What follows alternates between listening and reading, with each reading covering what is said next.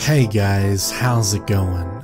This is Natenator, and welcome back to your weekly dose of creepy pasta. The story I have for you today is a bit out of left field. It's superbly written, very true to life, and this story is fantastic. But I will say that it is missing a hard, creepy element that I know you all come here for. No spoilers, but just keep it in mind before you go and listen to this almost hour long story that this one's more of just a well written story than a creepy story, if I had to say anything. It's titled 12 Steps. Now, unlike always, you can keep the lights on, but certainly get comfortable and let the story begin.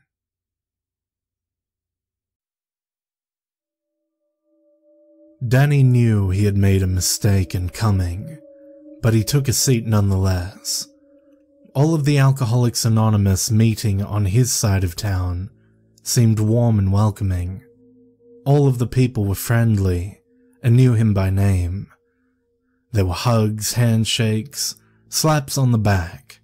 The rooms were well lit with comfortable chairs. There were always freshly baked cookies or donuts. A recent falling out with his sponsor, Ralph, had caused Danny to choose to avoid some of his normal meetings, though. He had already been down to two meetings a week, which Ralph had so poignantly called him to the carpet on, so he didn't want to cut those out completely. He had been feeling antsy lately, and probably needed to go to a few more. Never the type to ask for help he was unwilling to admit it, though. Instead, he decided to try a few meetings on the other side of the tracks Whitehall, the seedy part of town. Fucking Ralph. You're only as sick as your secrets, he said. Danny had made a list of all those he had harmed and went about making amends to them all. Some accepted his apologies, some didn't. All he could do was clean his own side of the street. There were a few amends that were impossible to make, but he had admitted all of his sins to either his sponsor, his therapist, or his priest. All but the one thing, that is. That's what Ralph kept harping on. Danny had stayed sober for 15 years. He deserved to keep the one thing to himself, didn't he? Fucking Ralph. Danny chose a group with the innocuous name of New Hope that met in the basement of St. Pete's Episcopal Church. While groups sometimes did actually meet in church basements, they were rarely as depicted on television or in the movies. That's just not the way things worked. Hollywood had gotten the coffee and donuts part down to a T, but missed the mark on most of the rest. Sadly, there weren't even any donuts at the New Hope group. Danny wished that he had known. He would have sprung for some. AA had given his life back and brought a good bit of financial security with it, so he didn't mind giving back now and again. He made his way over to the coffee urn, making eye contact with a few people on the way. He didn't even bother to smile.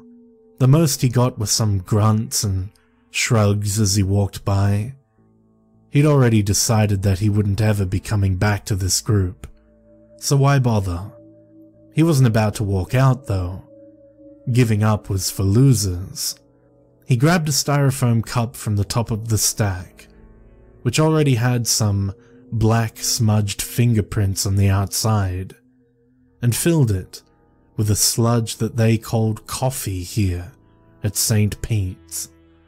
Danny threw a buck into a basket on the table and plopped into a chair that seemed to be farthest away from everyone else. This was nothing like the usual meetings he hit. The church's basement room was about 40 by 40 feet square. There were eight rectangular folding tables set up in a makeshift circle with wooden chairs set along the outside. Unfortunately, there would be no speaker. This was a discussion meeting. They would most likely read something out of some bit of AA approved literature. The Big Book, 12 and 12, or some meditation book. And then go around the room weighing in on their own personal experience, strength, and hope. Danny didn't feel like talking, but the one bit of his sponsor's advice that he had latched onto early was always to say something, always be part of. Even though the ceiling held banks of fluorescent lights, the room still seemed cold. Perhaps it was the type of bulb they used. Were there different types? Or perhaps it was the way the light reflected off the sickly yellow linoleum floor and institution green walls. It smelled funny too. Oh well, thought Danny. It's only for an hour. He'd spent twice that amount of time scraping together change for another bottle while fighting off the shakes in the past. In comparison, this would surely be more pleasurable than that. That's what it came down to, wasn't it? For him, to drink is to die. There were times that he had done the most disgraceful things in order to get drunk. Things that would have sickened him if he had been sober, and not fiending for the next drink. So if sitting through a boring meeting in a crappy place meant not drinking, even for only an hour, then so be it. Not a difficult choice. He was not a snob, but the thought that the people here seemed to be a little lower class than what he was used to. He was by no means rich, but now that he had gotten his life together, he was back in the upper middle class demographic. The meetings that he attended were regularly frequented by businessmen, doctors, realtors, and other professionals. Frankly, even the blue collar people at his normal meetings seemed to be upper class compared to these people. These people were. And he had to remind himself that he was being honest and not uncaring. The dregs of society. Unshaven, unkempt, tattooed, greasy, foul smelling. AA had taught him not to judge. There, but for the grace of God go I. Still, it was hard. Just before the meeting was called to order, a man plopped down into the chair next to him. Oh, come on, buddy, thought Danny. Ten empty chairs, plenty to keep enough distance between all of us. And you have to sit right next to me. He sighed. At least this guy seemed friendly. Short, stout, PC for obese. With a red round face, he introduced himself. Hi there, name's Mike. How about you? Danny, he said as he extended his hand. At least Mike dressed well. Button down shirt, slacks, dress, shoes. He was even wearing cologne.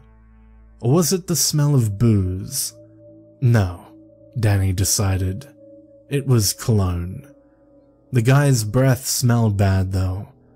Not smelled as in drinking smelled, but just reeked. His teeth seemed white enough, but it was as if he hadn't brushed in ages. Mike tried to make small talk.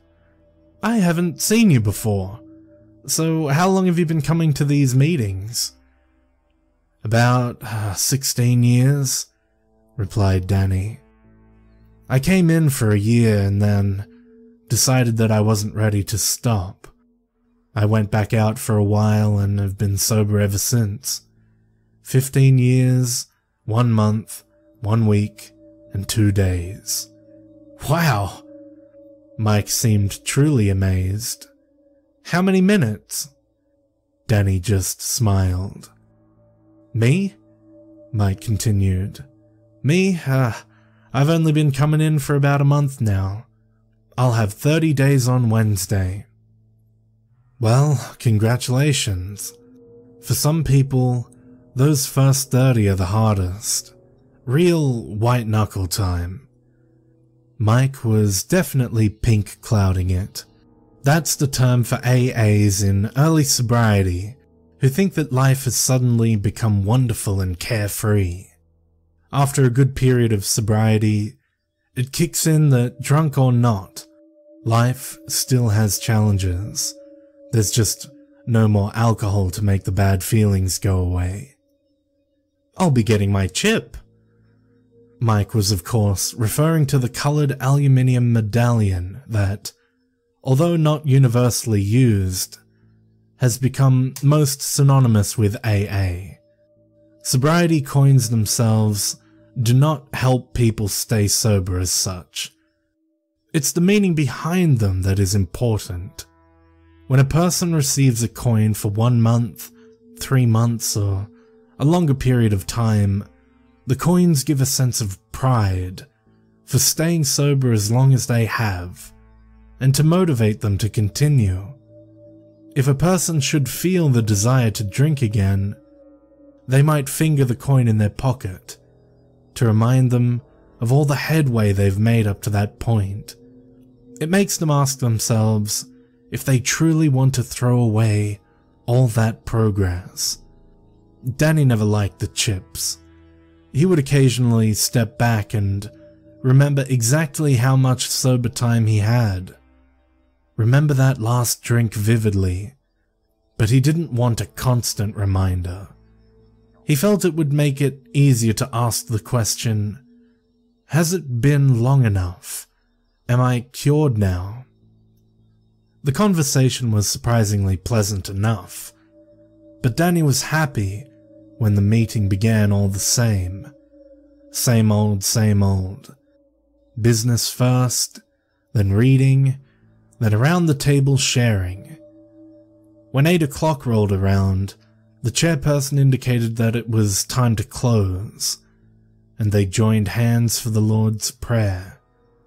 AA is not a religious organization, but saying the Lord's Prayer at the end is sort of a tradition in most, but not all groups.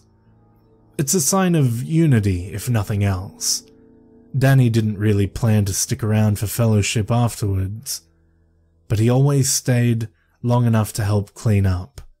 However, before he got to the door, Mike cornered him. Hey, Danny, am I gonna see you around here again? Uh, Danny creased his brow. Probably not. I live on the other side of town. I just stopped in here tonight because well, it, it was just convenient. Danny guessed that had not technically been a lie. AAs had to be careful. Practice these principles in all of our affairs. Lies paved a slippery slope. Oh, Mike seemed dejected. It's just that they say to get phone numbers, you know, to call for when you feel like drinking, and I was wondering if I could get yours. Danny's shoulders relaxed a little. Of course, Mike. That's never a problem. Never feel like you can't use it. Mike wouldn't use it. Most of the newbies never did. Danny pulled out a pen and jotted it down on the back of Mike's meeting pamphlet anyway. There you go. Thanks, Danny. Mike shook the pamphlet. I will definitely use this. You're a lifesaver. You guys are great. Mike bounced away. Danny made his way out into the parking lot and slid behind the wheel of his 2012 Kia. He said a little prayer for Mike. Hope he makes it. Who knew? Maybe being at that meeting was God's way of putting him in the right place at the right time. Danny rolled through the Burger King drive through on the way home to pick up an artery clogging dinner. He just wanted to flick on the television, eat, shower, and get into bed. It had been an exhausting day. He had barely pulled into his garage when his cell phone began to jingle. Danny finished parking, unbuckled his seatbelt, and answered the phone right there in the front seat. It was an old habit, probably not a healthy one, but he just had to pick up the phone when it rang. He couldn't bear the thought of someone leaving a message. He had heard stories of AAs who were never able to get through to someone, and things didn't turn out well. Once their faith in the system was broken, especially the newcomers, they didn't trust it anymore. Hello? Dano, it's Mike.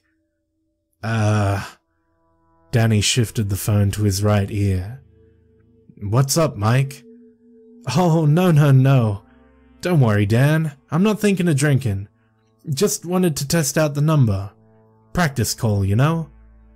They say to get used to calling when you don't need to, and that way it'll be easier to call when you do need to, right?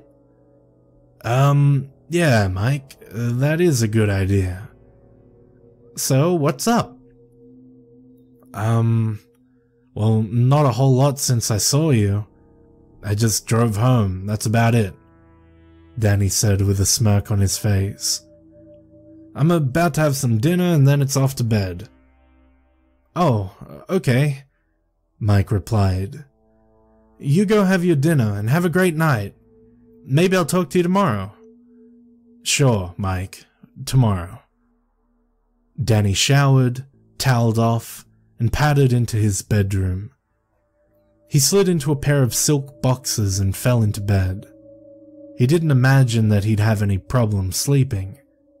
He was physically exhausted, but as usual, his mind raced a mile a minute.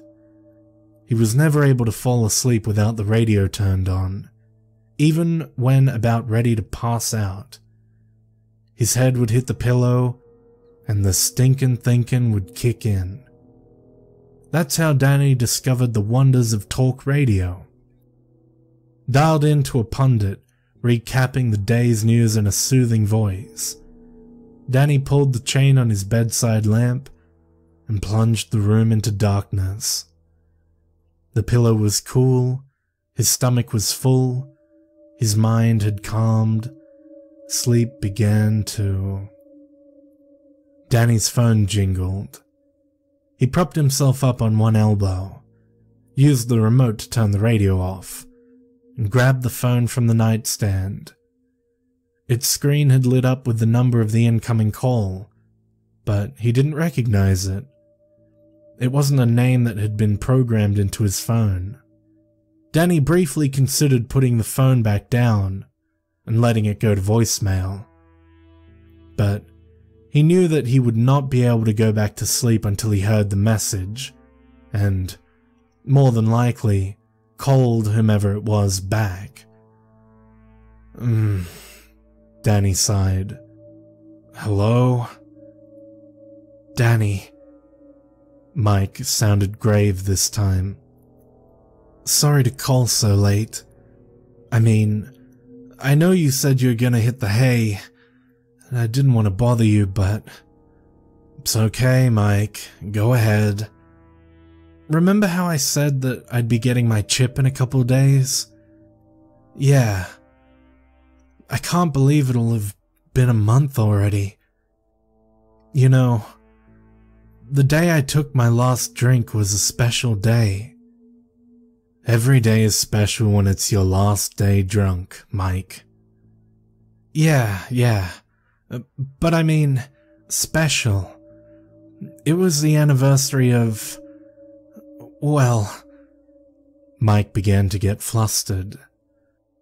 See, my wife and I, my ex wife, that is, and I, lost our daughter that day. Danny swung his legs out from under the covers and sat up. Oh, uh, I'm sorry. Oh, don't be, Danny. It happened a long time ago. Long time ago. It would have been her 21st birthday. Mike trailed off. So long ago. The denial, the depression, the sadness, the anger.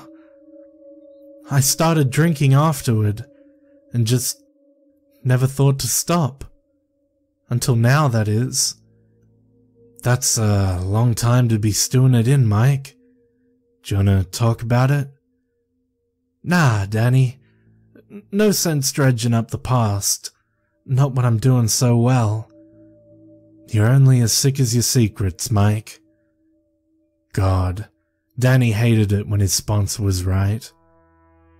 Yeah, yeah. Maybe when I'm feeling a little more stable, Danny. Maybe I'll talk about it then. I'm just not doing so well right now. Danny spoke with Mike for about half an hour, and when he was convinced that Mike was over the urge to drink, let him off the phone and promised to meet him the following day. He lay down his phone and swung back under the covers, a smile on his face. What was it they say? Even if Mike went out and drank that night, at least Danny stayed sober. Help yourself by helping others. Danny forgot to turn the radio back on, and that night he dreamt about the one thing. Danny awoke to the sound of his phone. It wasn't the alarm tone, but the ringtone. Another phone call. He'd come to recognize Mike's number by now. This was getting a little annoying, but sometimes that's the way it went. Mike would either fall off the wagon soon or he would start to make new contacts. In the meantime, Danny would just have to deal with it. Good morning, Mike. Dan, my man. Good to hear your voice. Yeah, said Danny scratching at the back of his head. It's been like uh, six or seven hours now, huh? Oh, yeah. I'm not bothering you, am I? No, no. Yes, yes, thought Danny. So, how did last night go? Didn't drink, did you? Nope. And I owe it all to you, Dan. Well, Mike, you picked up the phone and made the call so you can give yourself a little pat on the back. That phone can seem real heavy when it stands between you and a drink. Ain't that the truth? So, are you hitting a meeting this morning, Danny? Uh, no, Mike. I have a job. Danny tried not to sound ticked off. I have to work today. I promise that we'll get to one tonight. You pick it out and call me back around 6, okay? Got it, Dano. 6. Talk to you then.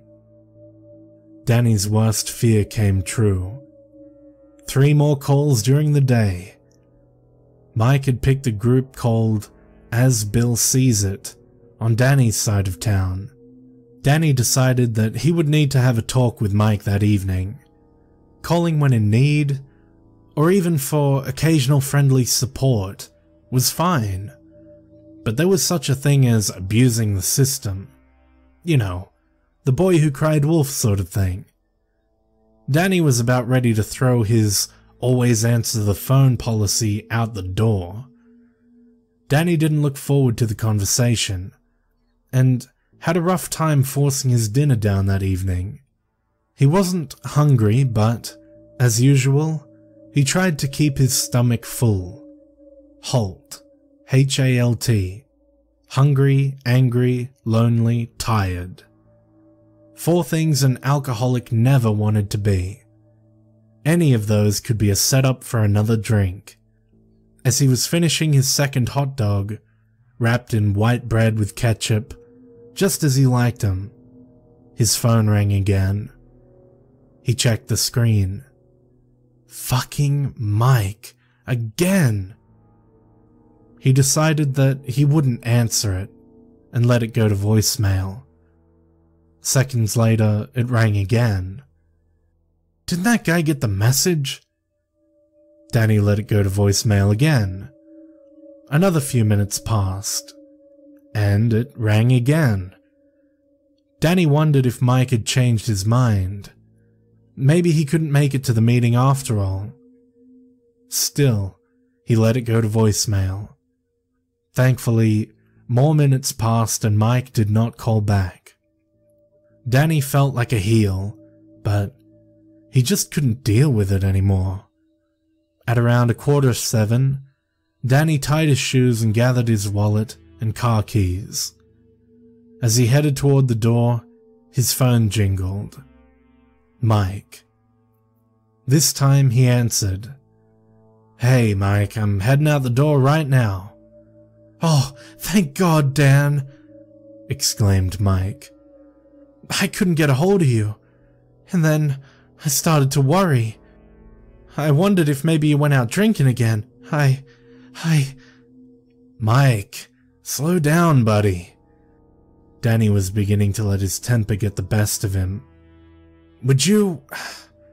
Ah, look. Just wait for me at the meeting. Outside. We need to talk.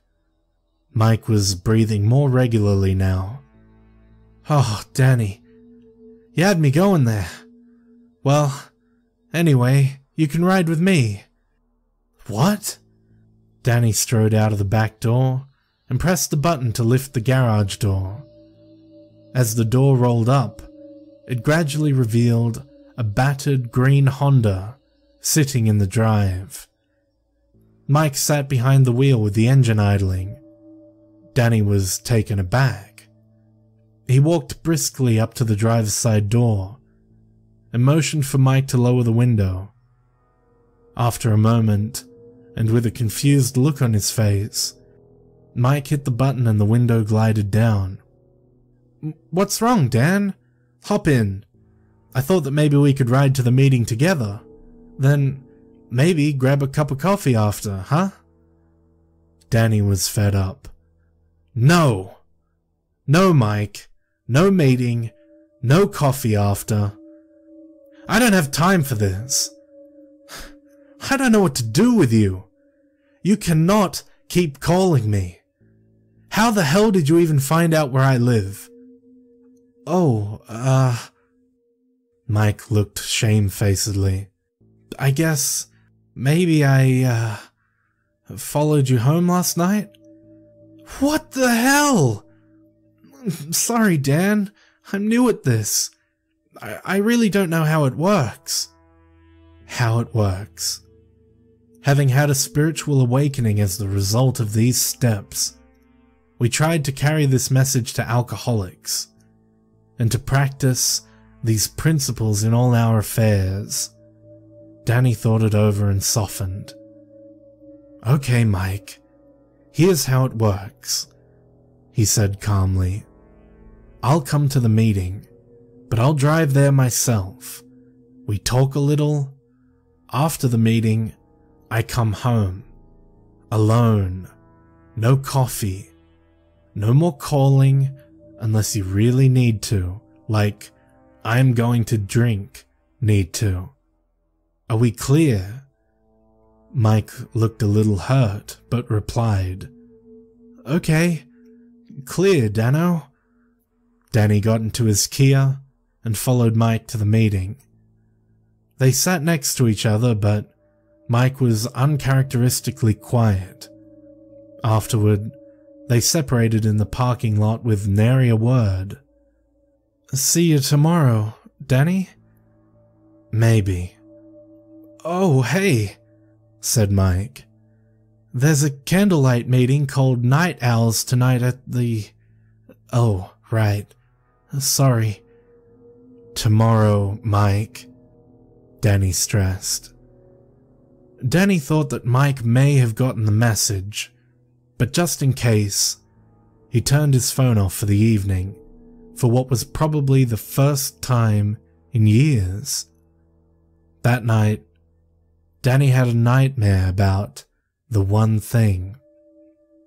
Danny pulled himself from bed and showered in the morning, and had almost forgotten his phone. Still wrapped in a towel and with damp hair, he walked over to the nightstand and turned it on. He returned to the bathroom as it went through its boot up process, and then he heard a message tone from the next room. Hmm, wonder who that could be. Six missed calls from Mike. One, two voicemails, four texts. Thanks for coming, Dan. Sure you don't want to go to the meeting? Great meeting. Should have been there.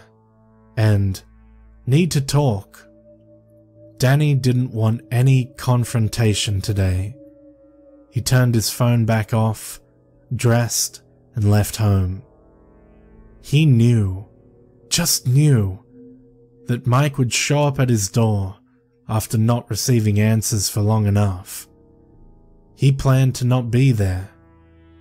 Even though it was a Saturday, he would hang out at his office. There was a couch there. He could take a nap if need be. And he did need it after the previous night. He felt silly and demoralized. It was his own house, damn it. He was being chased away from his own home by, well, a stalker. Should he talk to the police? No, he decided. He would talk to his sponsor first, not daring to turn his cell back on for fear that it might ring in his hand. He picked up his desk phone and dialed in Ralph's number. Ralph was no help. At least, he didn't tell Danny what he wanted to hear. Just suck it up, Danny. I've had my share of pigeons who either tried too hard or didn't try hard enough. My guess is that this Mike guy will turn out to be one or the other. Why don't you bring him along to tonight's meeting? I'll meet you guys at the acceptance group tonight. Maybe I can have a talk with him. Yeah, I suppose. Danny turned his cell back on in order to call Mike and invite him to the acceptance group that evening. Six missed calls, and it was barely noon. He sighed and began to scroll to Mike's number when the phone jingled. Danny didn't even need to look at the number to know who it was. Hi, Mike. Danny, I tried to. Yeah, I know, Mike. I've been at work. I just turned my phone on and saw that you'd called. An icy thought ran down Danny's spine. Did Mike know where he worked too? Anyway, Mike, my sponsor suggested that I introduce you to him tonight. We're going to St. Andrews to a meeting called the Acceptance Group. Want to come? Are you kidding? Do you even need to ask? I would never pass on the chance to meet my sponsor's sponsor. He's like, what, my grand sponsor? Whoa. Danny thought about it, and never had the talk of him being Mike's sponsor come up. A sponsor is a recovering alcoholic who has successfully made some personal progress in the AA recovery program he or she is asked by another AA member to take on the individual responsibility of sponsorship. A sponsor shares their experiences on an individual and personal basis with another alcoholic who is trying to achieve or maintain their own sobriety through the AA program. They help the person focus and navigate through the stages of the program. The relationship between an AA member and his sponsor is usually a pretty close and intimate one, and not gone into lightly. Not only does an alcoholic need to carefully choose a sponsor, but also the potential sponsor must cautiously decide whether taking on a sponsee is prudent. Danny gave him the benefit of the doubt though. Mike was new at this, Hey now, Mike. I'm just another alcoholic willing to help you out. I'm not really in the right state of mind to sponsor anyone. Not until he rid his conscience of the one thing, anyway. Oh, okay. Don't feel bad, Mike. You're new. You catch on to how this works. Then Danny had a thought. One that might rid him of Mike for good. Ralph has really helped me out. Maybe he'd be a good choice for you to consider. Eh, he won't be the same as you, Dan. You'd be surprised. We're all the same in one way or another. Promise me that you'll keep an open mind. Okay, anything for you, Dano. Danny hung up and texted directions to the meeting. Then he turned his phone back off. He decided on trying to catch a little nap, after all, and so curled up on the couch in the reception area of his office. He drifted off almost immediately, but it didn't last long. He awoke screaming and in a cold sweat just 45 minutes later. He felt his face and realized that he'd been crying also. He dreamed of the one thing. Why had thoughts of it returned and in such force? Fucking Ralph. He brought it up and started pressing Danny. That would make sense. Although Danny had a feeling that Mike had something to do with it. Guilt over avoiding him? Constantly having to look over his shoulder and avoiding phone calls? Or perhaps the fact that Mike had lost his daughter. Danny pushed the one thing to the back of his mind once again and decided to cross the street to McDonald's to get in at least one last meal before that evening's meeting. Danny had to cross a four lane street in order to reach McDonald's. It was the middle of the afternoon, clear weather, and, being a Saturday, there was only light traffic. He absent mindedly glanced both directions and crossed, not bothering to walk to the corner and wait for a signal. He was about halfway across when, seemingly out of nowhere, a car came racing at him. The driver was noticeably straddling the double striped centerline of the road, and overcorrected when he noticed Danny at the last moment. Danny could hear the tires screech as the driver got back into his own lane and sped off. A drunk knew the signs when he saw another drunk driving under the influence. This guy was definitely drunk. Probably drinking in his car all morning and then falling asleep at the wheel after finally deciding to go home. Danny had done it himself. Even though he could have stayed home and drank contentedly and safely in the comfort of his living room, he would choose to sit at the park on some mornings and drink in his car. He thought of how strange the ritual was and how it was not unique to him. On any given morning, there would be a spattering of cars in each lot, all parked as far away from each other as the lot would allow. Each car with just a single occupant, seemingly just sitting there. Every now and then he would glance over and catch the sight of a bottle being raised to the driver's lips. Fred, another guy from one of the meetings, would occasionally go down to a local park and work it. He'd walk around the lots and catch drunks, pretending that he had just been walking by and was looking to make conversation. Sometimes his presence was enough to make the drunk drive away. Sometimes they'd stay and talk. Sometimes they'd even offer him a drink. Only twice, as far as Danny was aware of, did Fred actually get a drunk to open up about his problem and agree to take Fred's advice. It might not have seemed like a lot, but that may have been two lives saved plus countless others.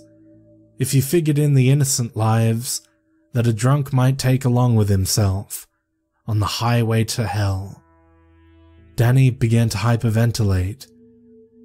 He ran the rest of the way across the street and sat on the curb, his gorge rising. He tried to calm himself but couldn't. Eventually, he vomited into the gutter. It wasn't the first time, but in the past, he'd always been drunk or hungover. He realized how pitiful he must have looked. He had never seemed to care in the past. Eating was out of the question. Danny went back to the parking lot of his office, crossing the street with extra care this time, and got into his car. He drove straight to the church. He would be almost an hour and a half early, but that was okay. Someone was always there early to open up the rooms and make coffee. It was nice to show up and shoot the shit sometimes. Not surprisingly, Mike was already there when Danny arrived. He was sitting out in the parking lot, but remained in his car. It looked like he was dozing. Danny walked over and rapped on the driver's side window a few times. Mike startled, and he rolled the window down. Danny, you're early. That's great. Yep, couldn't wait to get here, Mike, he said, half-heartedly. Tell you what, let's go around back and grab a bench. Danny led Mike behind the church. There was a small outdoor chapel of sorts, just a few benches facing across, and overlooking a small stream. Danny motioned for Mike to take a seat, and then sat down next to him. Mike, let's talk. Danny seemed surprisingly calm. I know you're pretty new to the program, and this may be skipping ahead quite a bit, but let me explain how the fourth and fifth steps of AA go. They are, to me at least, probably the most important steps of all 12. They are where you begin healing. Sounds great, Dan. Not really. I did a real shitty job on my fifth step. Remember how I told you that you're only as sick as your secrets? Mike nodded. Yeah, Danny. The fourth and fifth steps ask you to make a searching and fearless moral inventory, and then admit to God, to ourselves, and to another human being the exact nature of our wrongs. I can see where that would help. I have so much guilt and remorse, Danny. Sometimes I think it's what makes me drink. Danny shook his head. No, Mike. You drink because you're an alcoholic. But it's a whole lot easier to get sober when you get your head on straight. When you get rid of all the shit that's deep down inside. The stuff that regrets are made of. So, are we going to do that now? Not we. Me. I thought that you already did your steps. Danny nodded. I did, Mike, I did. But the fourth and fifth steps are carried on throughout the rest. We have to continue to take a moral inventory and do those steps over and over because we are human. Just because we get sober doesn't make us saints. We still make mistakes. Mike nodded slowly and remained quiet. It was as if he knew that Danny was about to say something important, and it was time to keep his mouth shut. You see, Mike, there was something that I never admitted in my fifth step. Something that I couldn't admit. The one thing that I wasn't ready to give up. I don't know why, but it's catching up to me now. I'm afraid that if I don't let go, I'm either going to drink or kill myself. Or both. What is it, Dano? This is probably a mistake, telling a newcomer, especially about the one thing. In fact, this would be better left with a priest, but at this point it doesn't matter, because I'm going to have to own up to it. The one thing is something that everyone will find out about eventually. Probably sooner now. You can tell me, Danny. Your secret is safe with me. Suddenly, it was as if Mike had become the old timer. His demeanor changed. He surely didn't seem like a newbie anymore. The whole way he was acting, he had gone from being an annoying, overexcited asshole to a quiet, comforting soul. At least in Danny's heart. Danny took a deep breath. I've been sober for 15 years, one month, one week, and four days. I told you that I came into the rooms about 16 years ago, though. Well, something happened about six months into that. I'd been dry, sure, but still an alcoholic. Still exhibiting all the same behavior. That's what the program is for, by the way. Not to make us stop drinking, but to make us saner, healthier people. Well, Mike, I. Danny's breath hitched in his throat. He was already regretting bringing this up, but he felt like it was too late now. Go on, Dano. I'm listening. It was late summer, round seven o'clock, dusk. I was driving up Parkside Avenue. You know the place? Yeah, as a matter of fact, I used to live in a cul-de-sac off Parkside. Then, you know the hill. About midways. Anyway, I was coming up over the crest of the hill, tooling along, pink clouding it, stone cold sober, mind you. A girl. A little girl, damn it. She came out from between two parked cars and just. just ran out in front of me. Oh. God, Danny. No. Yes. I couldn't stop. I fucking ran her down, Mike. A little girl. That's horrible. But it was an accident, Danny. You said so yourself. You were sober. She ran out from between the cars. You couldn't have known. No.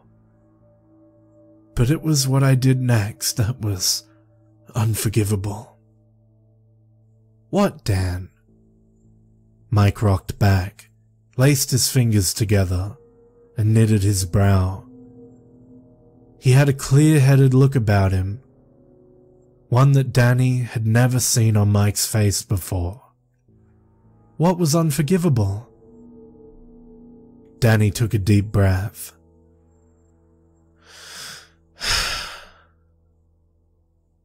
I didn't stop. I just kept on driving. I panicked. It was like I'd been drinking.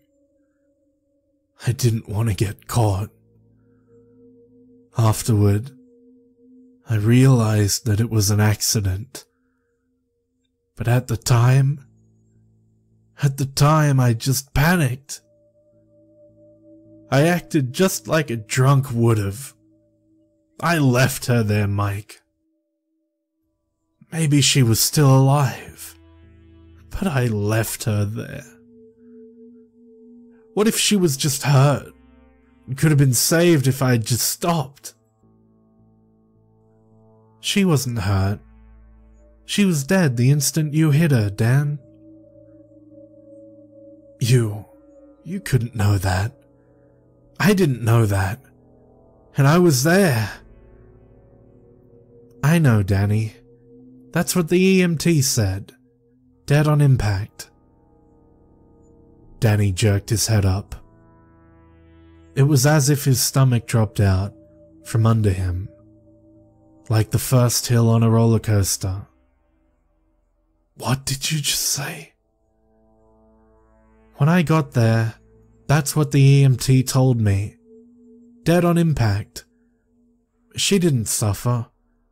She probably had no idea what had happened. What the hell are you talking about, Mike? She was my daughter, Danny. Danny was speechless. He sat still for a moment and then started shaking his head violently. No. Fuck you, Mike. Her father is dead. I followed the story in the papers. He killed himself two months after the accident. Got drunk and drove into a bridge abutment. Why the hell would you even say something like that? Mike had tears welling up in the corners of his eyes. Because now I know, Danny. Now I know that you are repentant. Fuck you, Mike. How can you pull this shit on me? How can you even say something like that? Do you think that this is a joke? well, fuck you. Danny stormed away, sobbing, and walked toward the church. Ralph had arrived and was walking in himself. He noticed how upset Danny was and stopped him, grabbing his shoulders and turning his arm around somewhat forcefully. Danny, what's wrong? What's going on? That asshole. I told him, Ralph. I told him the one thing. And do you know what he said? Slow down, Danny, said Ralph. If you're ready, why don't you tell me what the one thing is first? His secret no longer a secret. He told Ralph exactly what he had told Mike. And he said that he's her father. And he forgives me. That dick. Who, Danny? Who? Mike. That idiot who's been harassing me. Where is he, Danny? Is he here? I'll talk to him. Danny turned and pointed at the bench. He's right. Uh, well, he was sitting with me right there. Ralph cocked his head. Danny, are you okay? No, I'm upset, and with good reason. I just told him the one thing, and he goes and says that. Ralph's brow wrinkled with concern. Danny, I've been here for ten minutes waiting for you to go inside. I saw you, sitting there on the bench talking to yourself, and thought you needed some alone time. You were alone the whole time, Danny. Danny scanned the parking lot. No battered green Honda.